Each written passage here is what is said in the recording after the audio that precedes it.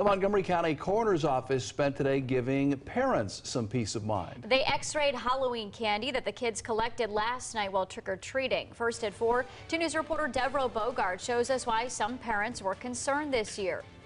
Dr. Kent Harshbarger says at first they weren't getting many calls from concerned parents, but after two razor blades were found in candy in Colerain Township, that quickly changed this morning.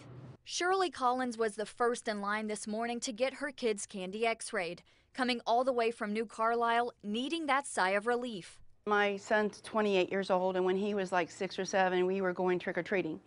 And he, we found a razor blade in one of his apples. Now I have a six-year-old, so I want him protected in all ways. Saying it's so comforting knowing that her kid can now pick any piece of candy from their bucket and know they're safe. It really upsets me that people will jeopardize a child.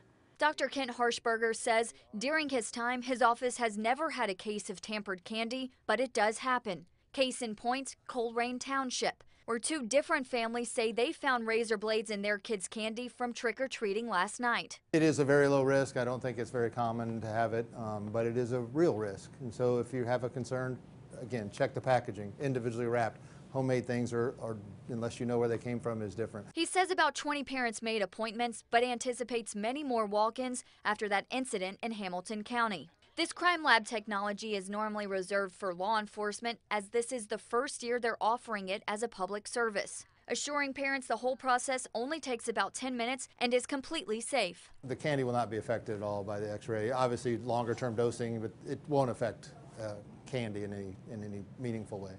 Harshbarger says they plan to continue this program in the future, and he says depending on how successful it is, they could think about adding more x-ray machines or more days that they scan the candy. Reporting in Montgomery County, Devereaux Bogart, 2 News, working for you.